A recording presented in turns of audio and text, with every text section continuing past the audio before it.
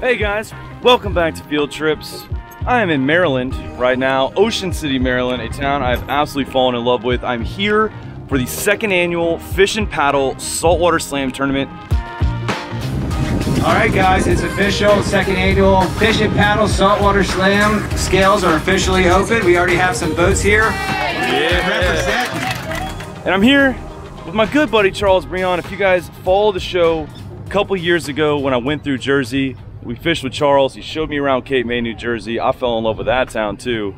Jersey was a pleasant surprise thanks to this guy. He came down for the tournament. And we're about to do a little pre-fishing, go see what's out there. He's competing in it. I'm here to just help out and film it, but yeah. Set him up. Yeah. We got some sand fleas. We'll show you the rig when we get out there. This is something I've never done before. We'll get into that here in a minute. But we're trying to beat the tide right now, so we got to get going. See you out on the water. All right, so the tide's switching over, and this inlet, some like standing rollers, some waves. A little squirrely, yeah, look at that, bro. Definitely hug that right side. Oh, sick, dude.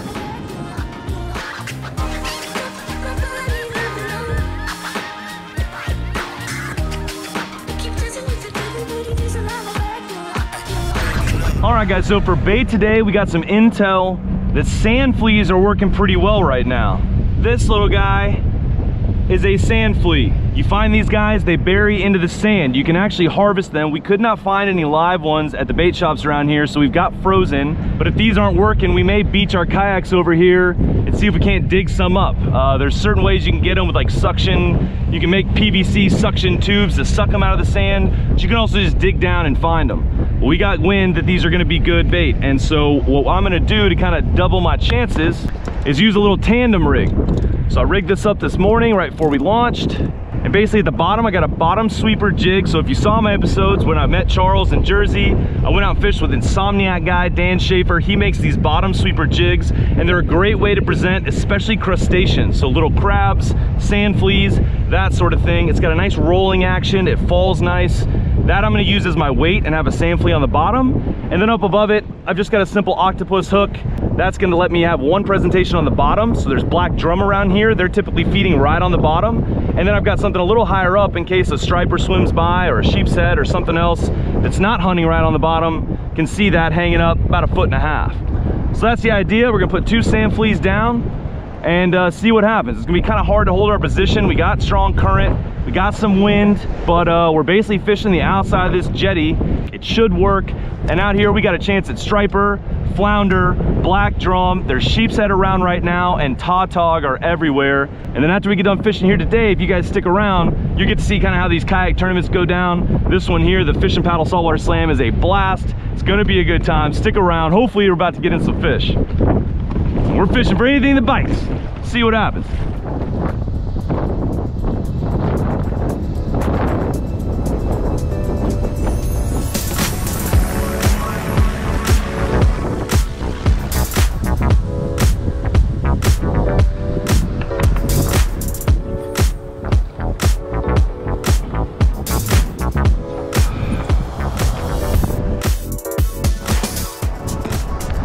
All right, well, I think it's small stuff, but I mean, I'm getting robbed every drop. Might be something small, or maybe I'm just not detecting the bite. It's tough, there's current, there's swell, there's just a lot going on, there's wind. I can tell now I need to pay better attention because I'm not feeling anything, yet my baits are, are coming back one or two gone every few minutes. So I think there's definitely something down there picking at it. Well, there's something here. You just got robbed too? All right, all right. That tide's moving good now, man. It might be might be picking up. All right, Charles is on. Nice, dude, nice. Tog, nice one. Finally, little action. Oh yeah. There we go. About time. Great tog, man. We knew that this tide eventually, this current, would do what these fish been waiting for and they'd start feeding, start cruising along these rocks. On that bottom sweeper. On that bottom sweeper jig.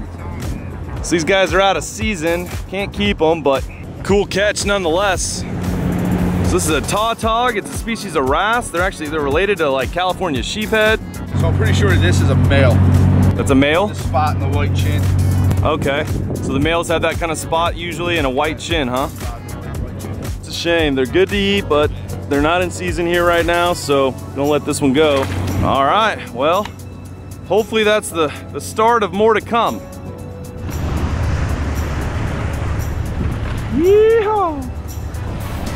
Oh God. Fish on, fish on.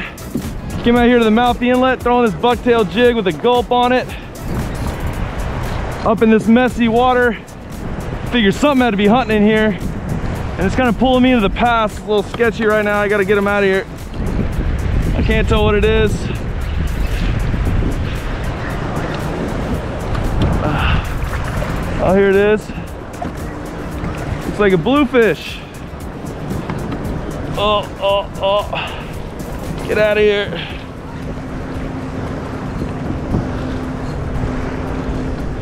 Yeah.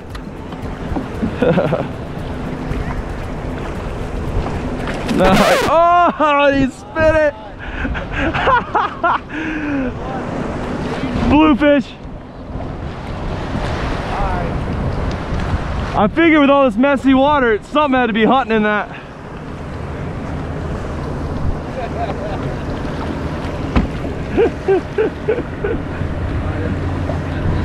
yeah, dude, that was actually pretty sketchy, man. He was pulling me in there. I was excited, bro. First cast. I mean, Charles just got that nice tautog on the sand fleas, but I, am just getting robbed, haven't hooked anything yet. Came up here to the end of the jetty, saw all this crazy turbulent water, and I threw this guy, a little bucktail jig with a curly tail, gulp on there, and very first cast into that, jigging it back, popping it. I mean, it was like I was trying to catch bonita in Panama. That was a blast right there. Bluefish are a really fun fish. I first fished for them in Virginia Beach. They got really sharp teeth, uh, but they're strong. That guy, guy, he was working me and he wasn't that big. Yeah, still got these sand fleas soaking behind me, but I'm gonna cast back up into that, see if there's not some more of them hunting in there. I'm really hoping there might be some rockfish, as they call them, some striper in there doing the same thing.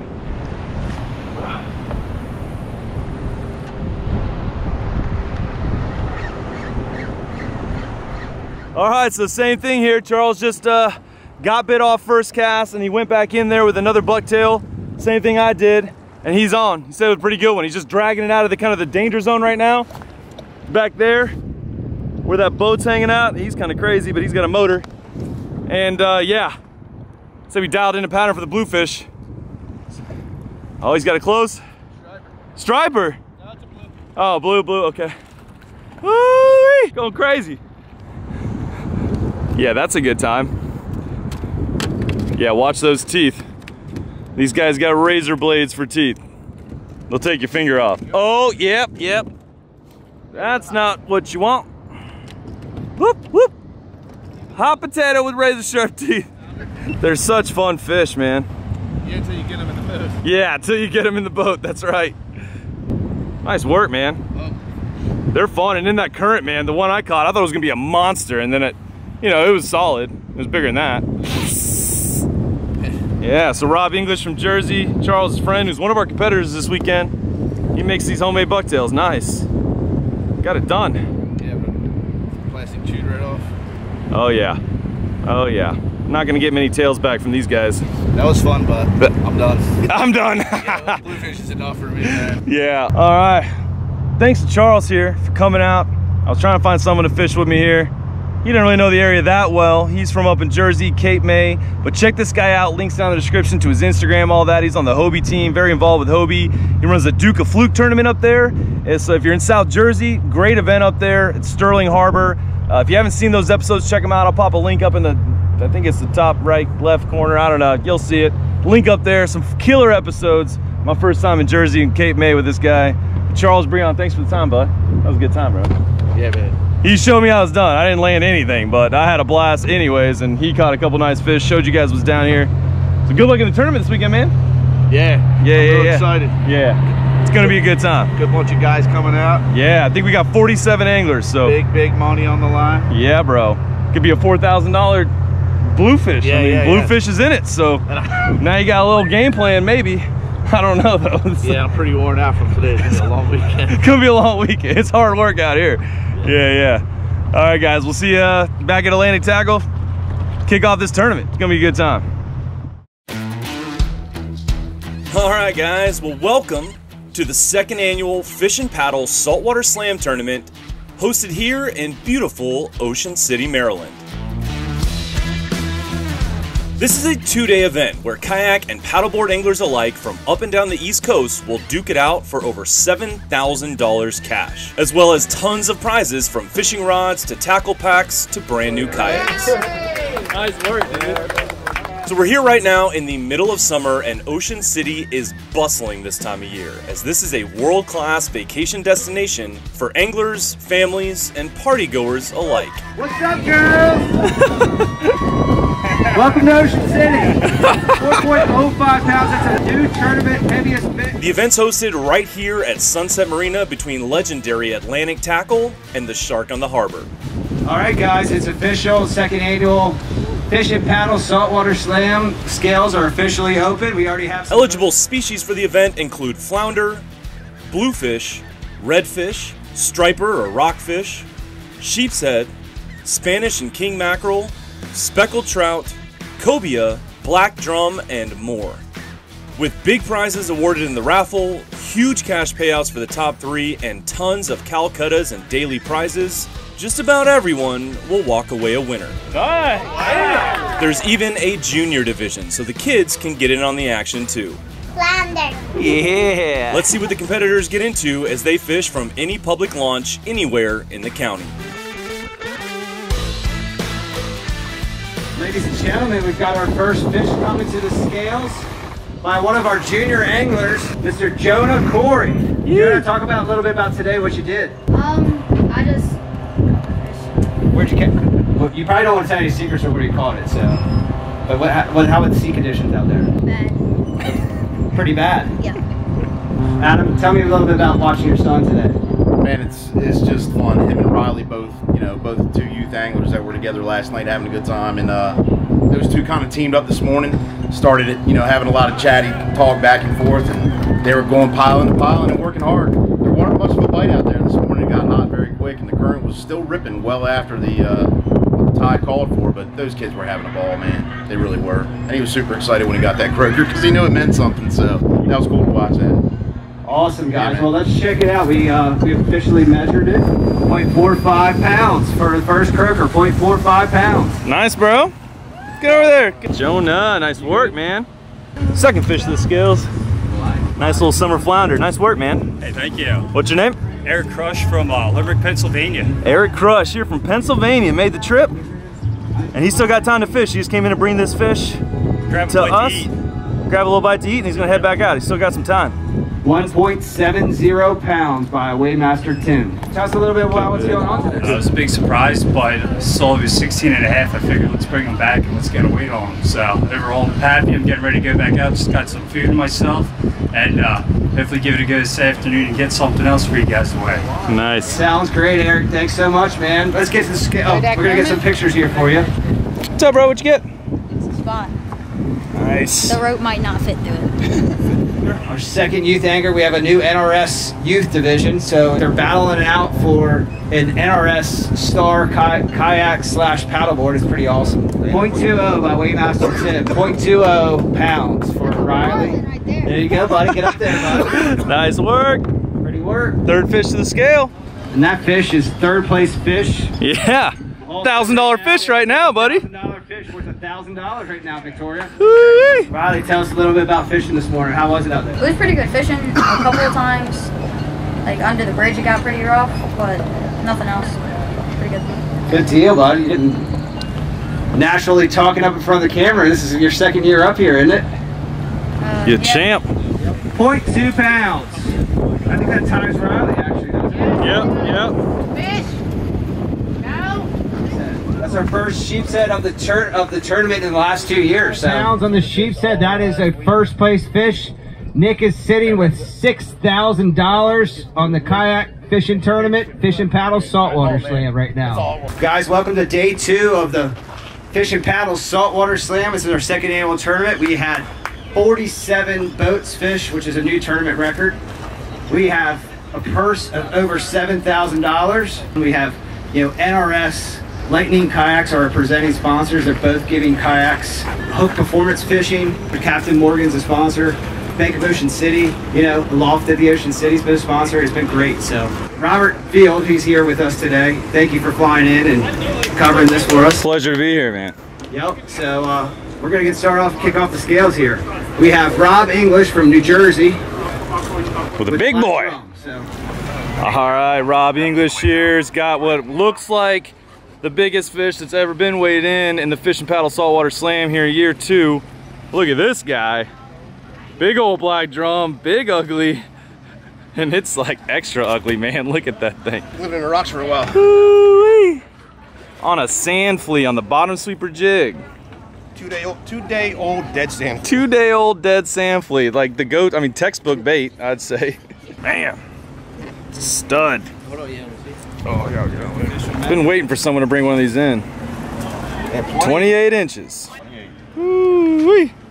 13.8. 13.8 pound drum. New tournament record at the Fish and Paddle Saltwater Slam. Biggest fish ever weighed in here in year two. it's a four thousand dollar fish. $4,000 fish right now. Plus, I mean, more than that, I think. Yeah, kayak. Cup- Yeah. Six grand, really, almost with the kayak, right? Man. Say eighteen hundred. That might be the most valuable black drum guys, that's ever ever been caught. ever been caught. New tournament record fish. First place heaviest fish and also first place stringer as of right now. He's getting ready to go back out for some more. Yeah, he ain't done. All right, guys, so weigh-ins commenced here on day two of the second annual Fish and Paddle Saltwater Slam. We got fish already coming to the scales. Basically, the scales are open from 12 to 4. And so a few guys came in, Rob English with a massive black drum, good for first place right now as of yesterday. Now, there's several guys that are out there that, that may have that beat. We'll see. And then uh, some bluefish coming in, all kinds of stuff, but still it's anybody's game. I mean, there's giant black drum out here, there's cobia out here, heavy sheepshead. There's a lot of fish that one or two bites could really put you in here and, and be $4,000 bites. So we'll see what happens, but those guys all dropped off their fish and went back out fishing. You can fish right here where we do the, do the weigh-in. You can also trailer and go anywhere in the county to fish. But yeah, lots of fish coming in. That was a new tournament record Rob English just got. So we'll see what happens, but it's still very much anybody's game. Someone gets on a hot bite, 30 minutes later they could be $4,000 richer. We'll see what happens.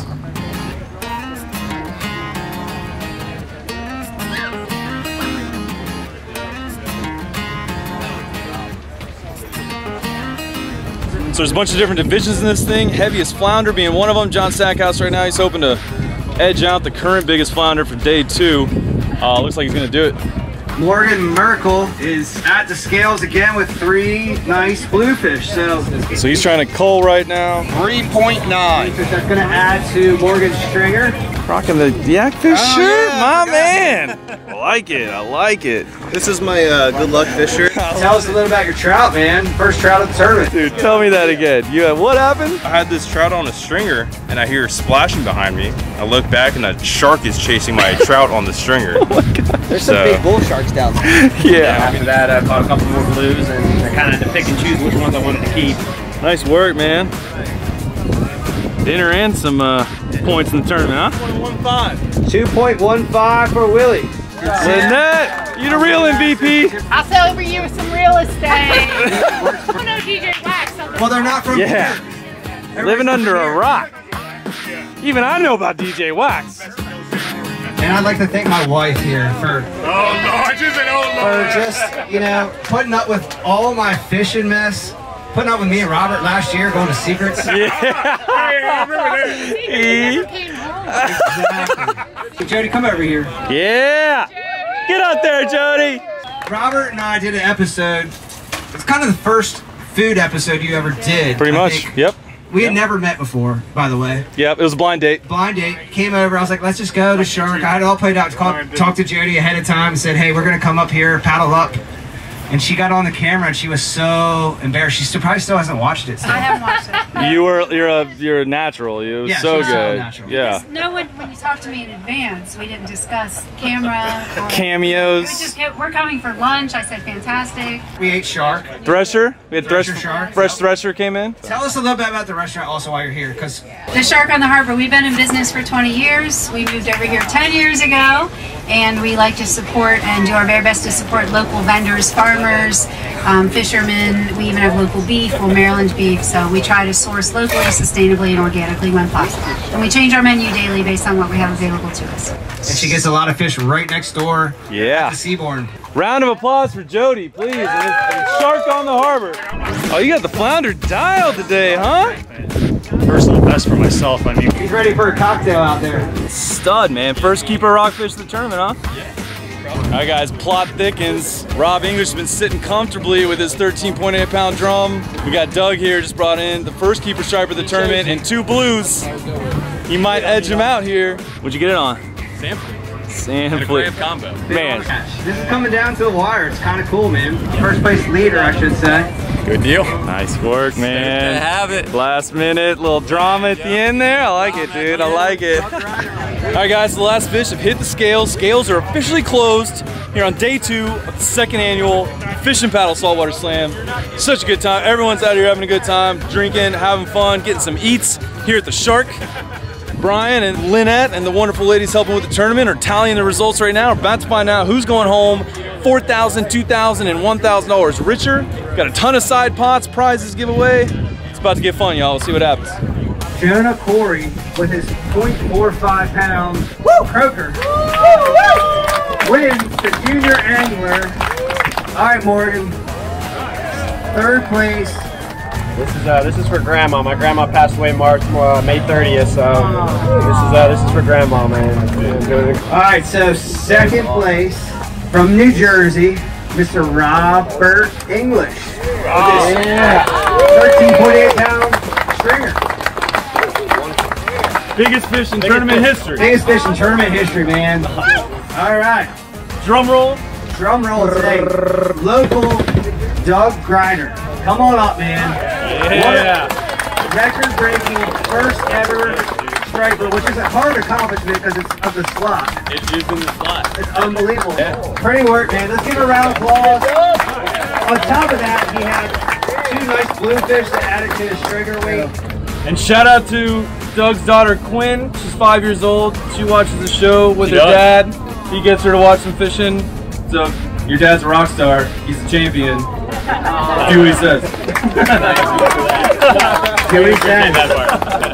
The second annual Fish and Paddle Saltwater Slam champion, Doug Griner. $4,000. What'd you think about your first kite tournament? Experience. I thought it was great. Yeah, it for was me. great. For you, this is your first time down Yeah, I love it. It's awesome. I Fun. love seeing all these good people out here. So It's a good group. The best thing she said was the energy. Yeah, Yeah, for yeah, yeah. Good group of people. Good vibes Everybody's helping only. each other out, and uh, probably was just That's But I want to thank her for coming out and fishing with the boys. yeah. Representing. Ashley's from Greenbackville, Virginia. Good vibes, good people, some good fish came to the scales. All this COVID stuff, and despite that, it's just been an incredible event. Nice, bud. That's bigger than the fish I caught today. Good job. Yeah, Bubba, you beat Robert Field today, bud. That's it. Shannon put me in touch with Robert. She's been out scalving. She's hardcore, dude. She's gotcha, yeah, gotcha. she's the one that first, when I came to Ocean City, she said meet up with my buddy Brian, and I was like, oh, she's pawning me off on some guy, and then I was like, uh, who's this guy? He's guy? become my dear friend, and here I am, third year in a row. I keep coming back. Thank you for the, yes, yeah. absolutely. I'm glad to finally meet you. I've fallen in love with this Good, place, Good, yeah. good. We'll get, we'll get. We gotta go fishing sometime. I know. This guy, like, I'm jealous. I used to fish a lot until I had kids. I still, my, according to my wife, I still fish a lot, but Look at Lila rolling her eyes. She's like, my daughter Lila, yeah, it's all good. you're in the doghouse now. Yeah, man.